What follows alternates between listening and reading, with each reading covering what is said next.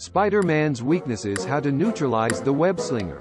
As a superhero, Spider-Man has several weaknesses that his enemies can exploit to neutralize him. First and foremost, his spider sense can be overwhelmed with a barrage of stimuli, leaving him vulnerable to sneak attacks. Additionally, his web-slinging abilities require him to have access to nearby buildings or structures, so he can be neutralized in open areas. He also has a weakness to electricity, which can short-circuit his web shooters and his suit.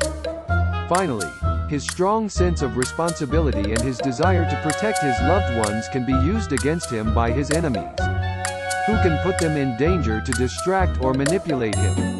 To neutralize Spider-Man, his enemies can use distractions or overwhelm his spider sense with too much stimuli. They can also create open areas without nearby buildings or structures to limit his web-slinging abilities. They can use electricity-based attacks to disable his web shooters and suit. Finally, they can exploit his strong sense of responsibility by putting his loved ones in danger.